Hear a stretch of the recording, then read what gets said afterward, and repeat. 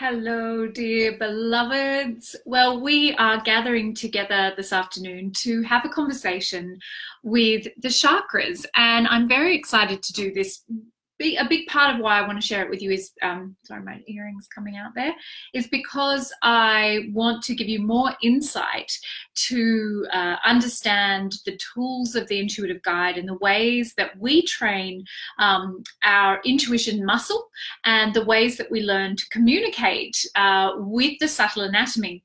And we use the chakras as those entry points into the subtle anatomy to have that beautiful communion uh, with with the um, invisible part of us, but the part of us that is actually more uh, in, in control of or, or, that part of us that is determining our reality more than our physical being. So our subtle anatomy should be cared for and revered and and you know treated with great care and respect um, even as much as or more so than the physical body. But we tend to not think about it at all um, or if we haven't been taught about it then we we neglect it and we can even abuse it.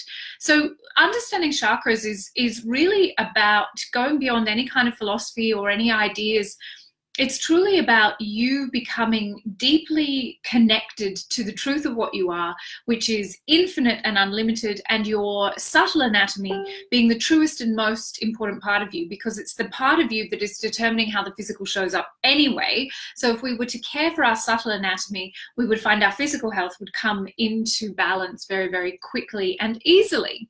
So, today I wanted to show you how we as intuitive guides commune with the chakras. Now, the chakras are not new.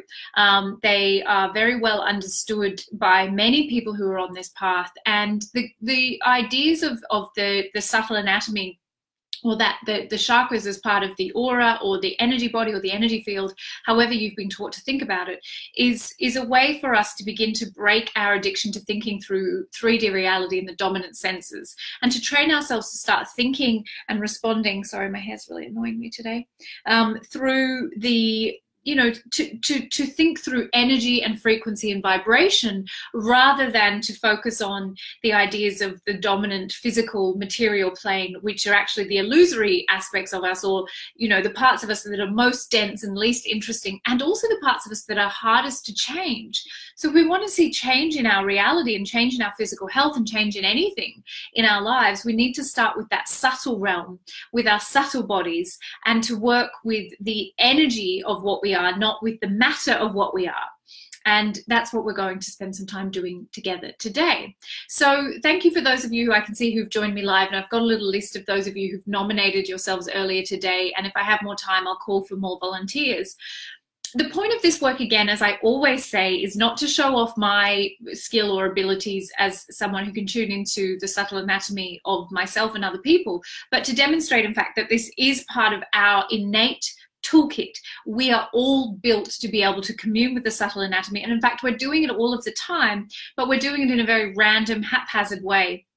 And what I want for you and what I want for every woman that I train is to be intentional and to, to have a, a really deep communion with ourselves as energy and to connect to that, that one mind and the non-local consciousness um, that we truly are by learning how to make this normal and, and know that it isn't a special magic gift of a few. That's the opposite of the truth. It is innate within each and every one of us. It is our divine right to be able to speak in this language and to receive non-local local information as much as we can you know expect in a healthy functioning body that we can read and we can write and all of those things that we take for granted. We should take our intuition for granted in the same way and we should be able to care for ourselves through the energetic paradigm of what we are, not just through the physical, dense, gross material plane.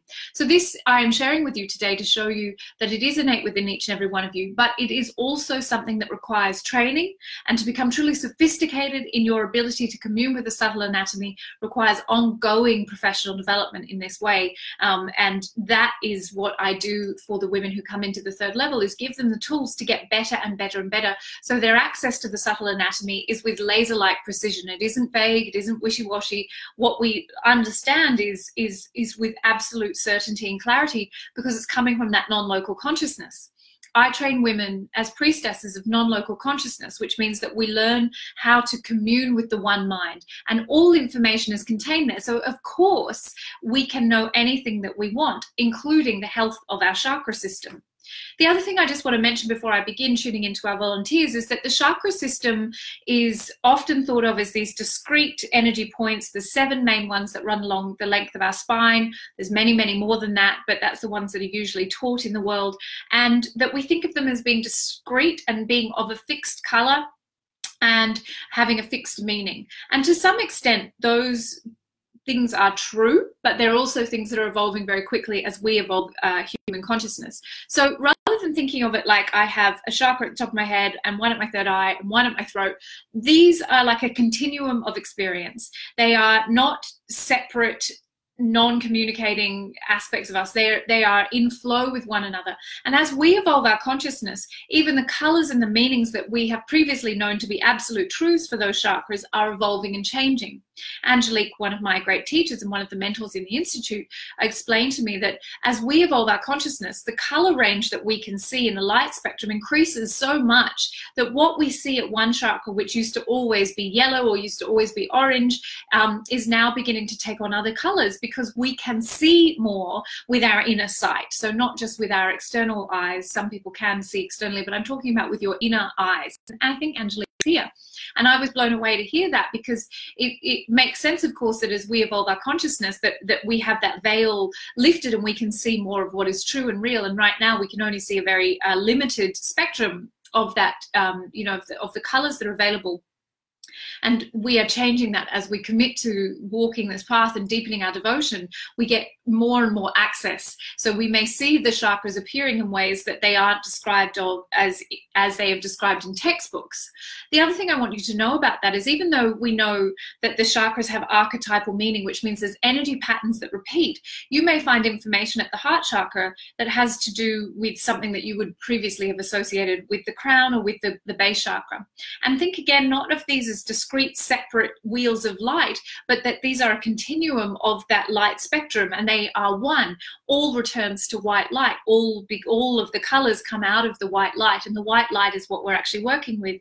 So it's it's not. I don't want you to become kind of fixed or um, you know stuck in ideas of what a chakra will say or do or be or feel. And that's the other thing, the great clue, I guess, about how the intuitive intelligence um, works in, in the training of the third level is that we learn how to have a unique conversation with the chakras. We're not relying on prior knowledge, we're not relying on textbook knowledge. We let that chakra communicate with us because it is a master energy and that chakra has a lot to say. So the chakras are, we learn how in the third level to communicate with the chakras as though you were speaking with a master. So imagining that, you know, Jesus is your heart chakra and Mother Mary is your throat chakra, you know, you're sitting down to, to commune with a great spiritual master energy, not, not this kind of fixed idea that it's, that it's some kind of color or light or it's a very abstract concept, but actually these are, these are absolutely living, breathing, communicating energies. And yes, there will be patterns that repeat in every human being um, in, if they're dealing with issues in a particular chakra.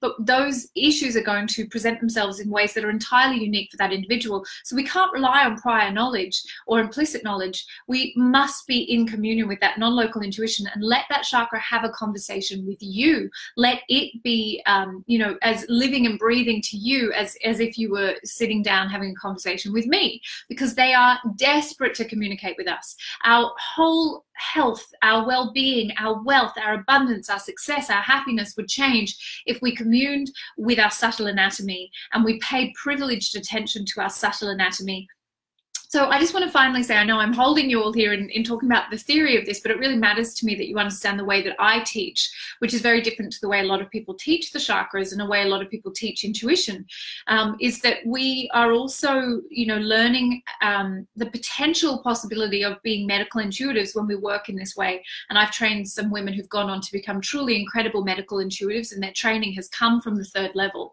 But medical intuition is not the aim of the game for me because I don't want you to focus on the physical realm above all else. And of course, that's not just the way it is in medical intuition. It's very invested in the um, emotional and spiritual health of the person as well. But it may be that you do find you naturally get information about the physical body as you tune into the chakras. Um, but in my work, I very rarely do because my work tends to speak to the soul level of the client's um, experience. And that's the level that the chakra will communicate with me.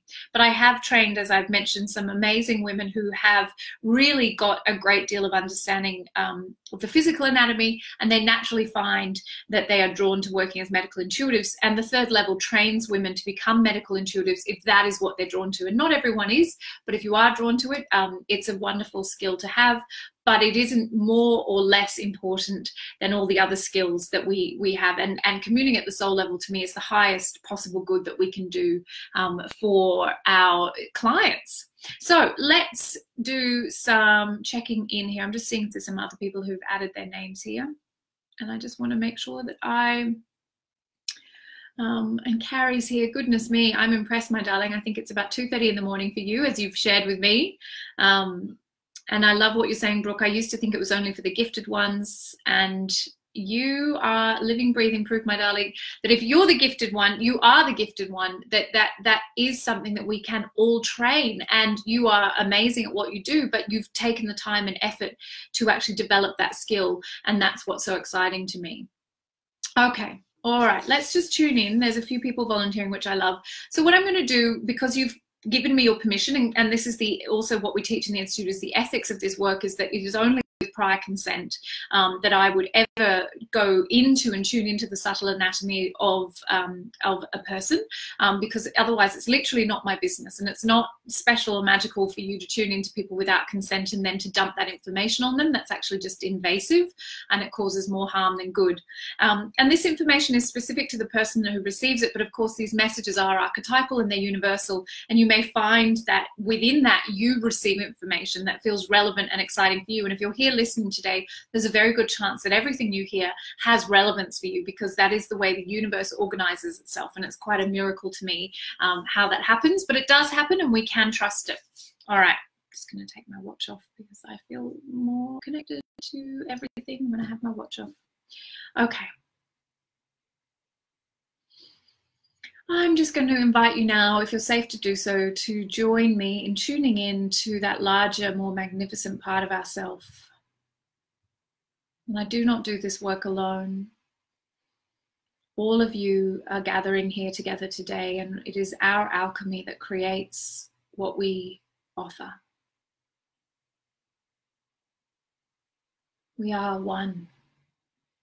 And that is the greatest truth there is. No one has more of anything than anyone else. We are all the teacher, and we are all the student. We are all the healer and the healed. Deepening your breath with your eyes closed, noticing that you begin to feel that effortless sense of expansion simply by withdrawing your attention, even for a moment, from the superficial world and going within to the world within the world.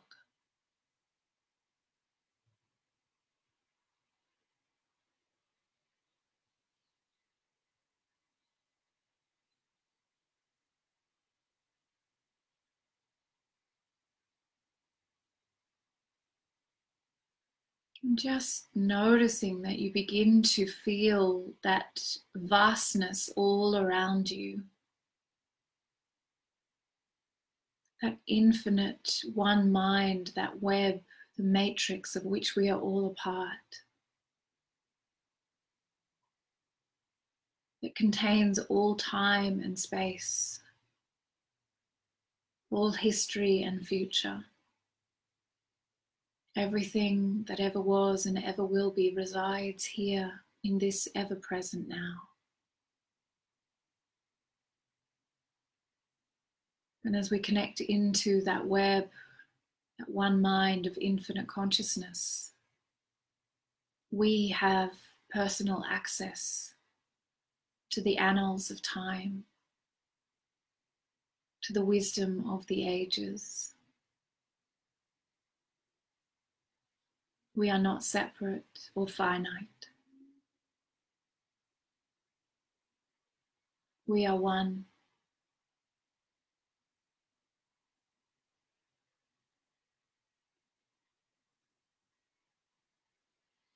Taking a deep breath in now and letting it go.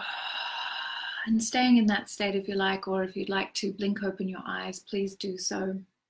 I'm going to begin with Carrie.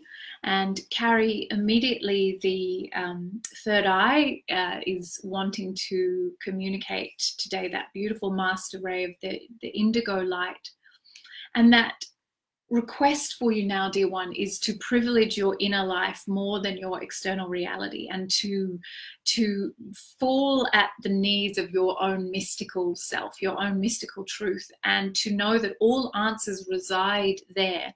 There is nothing external that can answer what you're seeking right now. And there's nobody outside of you who possesses what you need to know. The access to that wisdom, that ancient truth in the third eye, to, to the libraries of time, to the Akash, to all of it is, is your birthright. And you've done this in many, many lifetimes. You've been the mystic and the alchemist healer in many lifetimes by being able to transport yourself through time um, to rearrange events. And the energy of the third eye is, is very present. You may have been experiencing symptoms of tension in, in your forehead or even headaches or, or tightness around the eyes or sore eyes because it's like you've been uh, resisting or holding back the unleashing of that mystical truth of your own nature, perhaps for fear of perceived judgment or the idea of it being um, I don't know, something that other people may be critical of, but it is your true nature. And you've always brought great gravitas, great authority, and great wisdom into the world because you can open this portal to the one mind with such ease and grace. Um, and now is the time to deepen into that. Even though your devotion is there and you're feeling and have felt for some time that connection, don't be afraid of going further with that because it's actually got everything that you want. Everything you're seeking is there. Um, and spending time just allowing yourself to feel safe to inhabit the path in this lifetime is what is being asked of you now, dear one.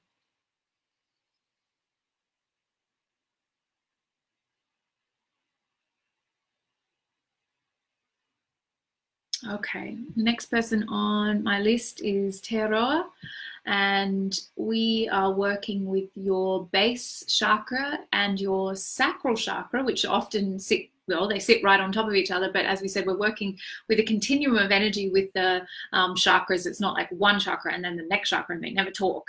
They are very much in communication, and we we are evolving through our chakras. So, and that's not to say we are we're linear. So if I'm at the crown, I'm way evolved, and if I'm at the base, I'm not evolved. We work through all of our issues through all of our chakras, so we evolve through them. They are they're our teaching stations, if you like, um, and we take our lessons through all of them. Um, the base and the sacral chakra here are just here with absolute applause for you, absolute desire for you to keep going in the direction you're moving in because you are breaking yourself free of some very ancient tribal, um, familial, um, and kind of, you know, loyalty patterns which have meant destruction for you or destructive behavior in the people that you've seen around you. And you're breaking yourself free of that now. And there's just such a sense of, of richness and energy available to you in these places as you make your own community now. You make your own family, you make your own tribe. And there's a lot of connection to where you've come from but there's also new energy available to you to, to create something um, of a higher order and a higher level of, of awareness. And that, that creative energy that's bubbling up in you. Don't take it too literally. It might mean that you're literally going to create new life um, by having having um, you know a baby or something like that adding to a family to your family. But there's also take the creative energy that's there and see it as as that metaphor for what you're creating in your own life and your offer your service to the world. There's so much energy available to you right now. There's this abundant like a like a volcano bubbling up and it can feel a little bit overwhelming at times. But we just say anchor into your devotion. Let your devotion anchor you. Descend into those chakras. Let your energy sit there and really allow yourself to anchor into mother gaia and know that that is your key to freedom but that energy is there to serve you and let it wash over you and move you because it will take you with it and let you create this this new community this new tribe this new new offer um, as you as you create a, an original life for yourself free of some of the burdens of the past. Okay. Beautiful. Thank you my darling.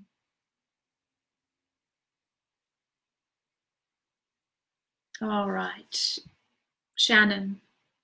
We're going straight to the heart chakra, my darling you just have to start trusting God, my darling. You have to start trusting God. And we say that with so much love because we see how much work you've done to get to the place where you are so much more free of, of all of your fears and doubts than you've ever been. But this last kind of thing sitting in front of you is do you trust God? Are you willing to trust God now? Because that will require you to put down all of the history that you've come from, everything that has happened and, and that you have done, and to forgive yourself and to forgive everything around you, to inhabit the glory of, of heaven on earth right now. That trust in God. I trust God. I want you to work with this as your mantra, your prayer. Um, you know, I love this statement so much. I'm getting it tattooed on my body very soon. Um, don't tell my mom. I think she's here live. Another tattoo. Um, so I, I invite you to see this as your challenge, your gift, your blessing, your opportunity to do, to build your life around how am I not trusting God and how may I move further into trust of God and to just go towards that without any fear. That's your mission. That's your purpose. Just be in absolute congruence with that. When you feel yourself moving away from that, am I going into doubt? Am I judging God? Am I judging myself? Am I feeling unworthy? I want you to just keep coming back to that single purpose. My purpose is in this life is to learn to trust God, and that is how I attain everything that I'm seeking.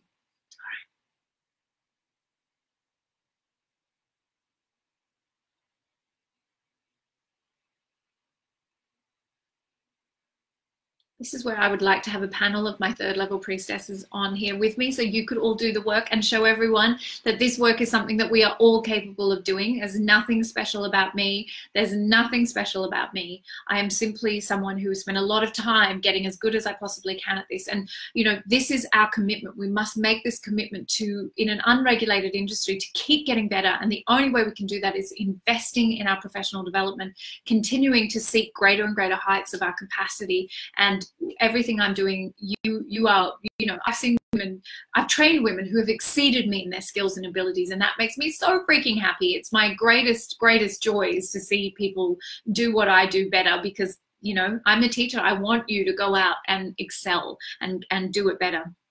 Okay, my darling, we're going to tune into Karen now. And this is uh, Karen Buckland. Okay. So we're at the base chakra here, my darling, and there's just this whooshing energy coming out of your base chakra. So all of this energy is being leaked out of the base chakra. It's like a rushing away. So all of your vital life source it can be built up through through your practices and through your devotion, but it leaks out, and not just in a little way, but like this rushing, leaking energy coming out in out of you, just meaning that you often feel like you're just being building yourself up, and then it leaks out again. So there's this constant sense of being in a deficit never being able to maintain that that sense of of peace and happiness and joy that comes from devotion. And I want to share with you why that's happening because it's very clear. Um, what I'm feeling and seeing here is this we're going back to the idea of I don't trust God, but for you, it shows up in the idea of I do not feel safe in the world. I do not feel safe to be here. And I'm not talking about your physical safety because you, you're a rational woman. You understand that. That's not where we're at here. It's that your soul is not sure that it's safe to be here, that it, it should not have left God, it should not have left the, that beautiful, blissful embrace of the infinite in order to come here. What was that all about? What a stupid decision. And I want to assure you that you absolutely are meant to be here and that your life is, is a blessing to all of us. Um, but that sense of not feeling safe is where I want you to work. So you, you know, I know a little about you and I know that you work with yoga asana as part of your devotion. Anything that's going to really allow you to strengthen in that base chakra, working with your pelvic floor, working with those intrinsic muscles as a way to enact the idea that I am safe to fully inhabit my body. I'm fully safe to be present in the world. I'm here as a blessing to the world and to really move into that sense of um, it isn't unsafe for me to be here. It's in fact absolutely appropriate and perfect that I am here because I am here in service. It's I am cannot be in danger. In danger, I am here in service. My soul cannot be harmed. I have never left God. That is just the illusion of the ego that's trying to tell me that I'm separate. Okay. I've got a few more names here, but they're a little bit familiar, aka my priestesses. So I'm just going to see if there's some people here who I haven't worked with before, just so I can make you make sure that everybody gets a um, opportunity. Um, sorry, I'm a bit okay. Jax. All right. All right, my darling, we're in your sacral chakra, which sits just below your belly button. And this is your sexual creative center in a, in a, kind of traditional archetypal way of understanding this energy of the, of the sacral chakra. And the color here is incredibly vibrant, deep, deep burnt orange, a really beautiful, rich, intense color, but the shape and size is very small. So it's like you've contracted yourself, you've reduced your creative energy. That fear of rejection is so huge that it's better to hide what you truly are rather than risk someone disapproving or rejecting, um, disapproving of you or rejecting you.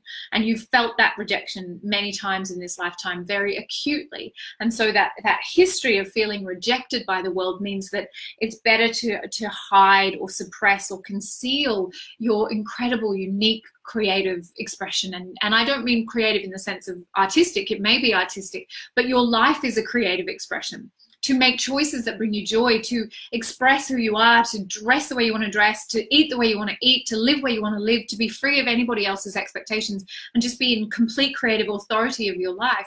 There's been this fear of judgment um, because of the the stories of rejection that you've experienced in multiple situations in your life, and we invite you now to put all of that down and to surrender your history to God and say, take this, it doesn't serve me anymore. I'm ready to be free. I'm ready to surrender to a, to the greater purpose of my life, which is to be the full expression of whatever I am meant to be in this lifetime. And for you, my darling, that bright orange of that that beautiful energy of that that sacral chakra suggests to me that you have so much waiting to come out and to to just take the brakes off and just to to go towards whatever excites you without holding back without believing that you need anybody else's approval or that you could possibly re be rejected because you can't you can't be rejected. When you're when you're 100% loyal to yourself there's there's no one that can reject that. Oh no I've run out of water. Hold on. I'm just gonna have a sip of water. All right Hmm. I should have filled that up before I. All right, that'll keep me going. All right. Okay, Kirsten Nella. All right, my darling. We are in your vast and glorious heart chakra, my darling, and it is vast. It's as big as an ocean. It's as big as the whole freaking world. This is an incredible heart chakra that I'm feeling right now. And also, it's completely surrounded by barbed wire. So we've got this incredible, massive, amazing heart that is just so capable of that deep, deep unconditional love that is absolutely here with that sense of, of wanting to give and to be in service. And, and there's this fence going around it. Now, the fence is, of course, lived experience, history. It's unsafe. It's not fair. Things have happened to me that have harmed me and hurt me. And that's just a default position that has become a little bit like barbed wire over time, rusted into place, and has become difficult for you to even notice is there. Interestingly, we're also dealing with this fear of rejection here, that it's easier to barb your heart and to potentially cause harm to yourself as a result of doing that than it is to, to be open to being vulnerable. Vulnerable, ugh, that's a word you don't like. Vulnerable, ugh, ugh. And yet you also see the power and the blessing of it, but it's the fear of, of well, this is very present but vulnerability feels like death to you that i if i am emotionally vulnerable um, as has happened in this lifetime and many other lifetimes that it will mean my death because in other lifetimes it's meant literal death but in this lifetime it's like all this history is sitting in front of your capacity to serve. That's all you want. You want to be here in a really big way to serve. You want to make things better for other people. You are here on a mission. And there's a sense of frustration that things are not happening the way that you would desire them to because because when I feel into the heart, it's like there's two opposing forces. That's that opening, the vulnerability, the softness, the willingness, the the grace, the the the power that comes from that grace. And on the other side, there's this fear and this contraction, and this hiding, and this holding back, and this you stay out, or I'm going to stab you with my stabby barbed wire because you're going to hurt me as I've been hurt before. And those two things can't coexist. It will be exhausting to live that way.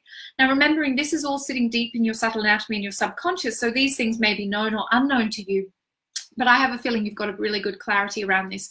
You you feel frustrated that you can't get to where you want to go in terms of your power to serve, and and it's simply because there's these two opposing forces. So now I want you to spend some time in meditation, imagining that you're winding up that um, that barbed wire fence around your magnificent heart, and then putting it down and letting God deal with that, or angels, or infinite consciousness, whatever word you want to use, and then applying a beautiful healing balm to the places where the barbed wire has cut that precious sacred heart of yours, and, and seeing it healed as you sit with your heart as this precious instrument of, of God's grace in the world, and just let that healing happen and it will happen so quickly because you've done so much work to prepare yourself and you're primed for this. So now it's simply time to say it is i risk being vulnerable. I risk being vulnerable. It is worth being open-hearted again um, because that is my superpower. Okay All right, my family just got home, so if you hear noise in the background, please forgive me. All right, I hope I'm keeping up with this. Where am I at? I think I've got some energy for a little bit more. Teresa. Okay, so immediately I was taken to the heart, but then we moved straight up into the throat chakra, and that throat chakra energy is about the feeling in congruence with the idea of surrendering to God's will. Sorry, my family have just got home, so I'm just going to get them to shut the door and I'll keep going. Excuse me if my focus just went off a little bit. So what we what we're dealing here with is we'll often think about the throat chakra as about clear expression and am I speaking my truth and are my ideas being expressed clearly? But here we're very much about for you, my darling, am I ready to finally surrender to God's will? Am I ready to put down my own personal agenda and to to go where God wants me to go, even if I don't know where that is or why that is? And that sense of stepping into the unknown, that willingness to step into God's grace and to let God lead is is one of again it feels like personal survival. It feels like safety. Can i do this without risking my own life? Because once again we have the history of lifetimes where you have lost your life um, by the very act of, of going along with god's grace or so it seems. So there's that history there that doesn't have anything to do with present time. But in terms of, of this lifetime, there have also been many times where it felt has felt like your own personal will or your capacity to choose for yourself has been thwarted by external circumstances that distrust there of why is this happening? Why is this god's will? Why is this meant to come to pass? But you're reaching a new level of surrender into god's will now to god's embrace. And it's it's the time to let that jewel that precious jewel that sits at your throat expand open and and to let that light out and to shine. And i feel very excited about the ease of the tension that's often held here in the neck and the throat. There's often a lot of tension. I feel like that's going to ease more and more. And just allow yourself to become congruent even up into the jaw as well of when that tension's rising and to do things like I'm doing now. I'm like, I just need a neck massage. But even down here, down the side muscles here, just to really ease things up and to keep things mobile. And that will help this energy of shifting change that's going on keep moving through you. It's beautiful energy. That color is just divine. All right, let me see, let me see. Mm -mm. All right, Elise, I will finish with you, my darling, Elise Bateman. Okay. And here we are at the crown.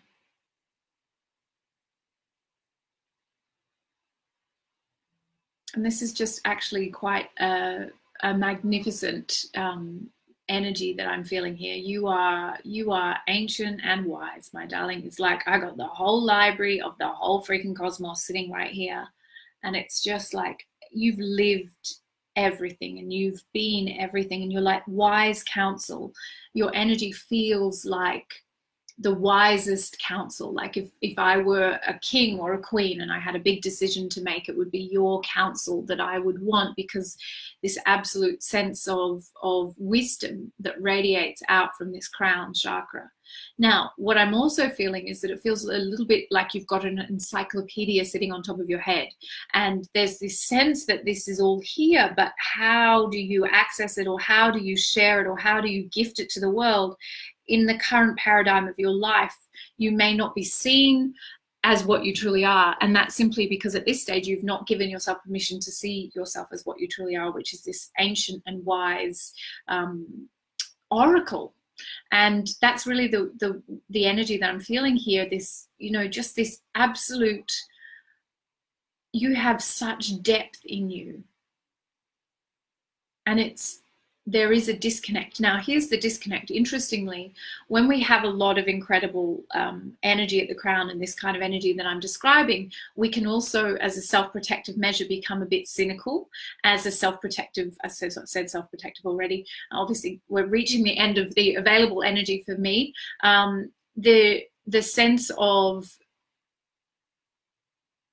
cutting yourself off by being overly intellectual or too too cerebral or too much thinking too much thinking too much thinking too much thinking which actually then disconnects you um, from your capacity to feel that ancient wisdom that is your nature. It wouldn't surprise me if you were claircognizant if that was your natural way of working with intuition because there's this, a kind of self-protection that comes from being really um, intellectual and clever. It wouldn't surprise me as well if you're the person who always needs to get the last word in in an argument, not because you know this is not meant to be critical at all, but funny. Please um, accept it with love. That it's it's very hard for you to feel vulnerable to this greater truth, this greater power of yourself. So as a way to kind of protect yourself, you go into your intellect rather than surrendering to your soul nature. But I want to assure you that your soul nature is deeply intellectual, deeply wise, deeply learned, deeply studied, like really, really deep love and appreciation and respect for learning, and and that you are you are born to share as the oracle and that platform that desire to share um, can often feel like it's it, where's my platform? Where's my vehicle? Where's my stage? Because you've got so much wisdom to offer. Um, and the more you let it guide you the more your life will feel blissful Okay. Oh, golly, there's been a lot of comments and I haven't noticed them. I hope that is absolutely um, just feeling congruent for everybody. This work is divine and sacred and always in service to your greatest good. It cannot cause harm. It is always here as a blessing from your highest self. And it would only, the information would only make itself known to me with your consent at both your conscious mind level and your soul's level. Um, and it's, it, as I say, this is not special or magic. This is just what we were born to do. This is our true nature. And when we get on board with that, we'll find that our lives get truly magnificent but it does require training. It does require a commitment to that development. It's not enough to just go and study something, to study a modality and then say, okay, well, that's it. I've got as good as I can get. M my life is committed to getting better all of the time. I will never stop being a student to this work because our capacity to serve is increased by our ability and our abilities can always get better. And I would invite all of you to consider, you know, have you gone to the limits of your capacity? And I imagine there's probably more to come. And that excites me and I hope it excites excites you too. I don't want to stop until I have fully realized myself as God. And of course, I cannot finish this without reminding you that the interviews for the third level open next Tuesday, I believe, or Wednesday, and are open for a short amount of time. And if you feel like you are ready to deeply immerse yourself in your intuitive skills and to become a laser like intuitive guide who can cause miracles in the lives of the people you serve, if you want to increase your power to serve, bringing together all of the tools and modalities you've worked with up to now and get better and expand them and increase their power, then book your interview and let's hang out. Let's spend some time together and find out if this is the right program for you. All my love.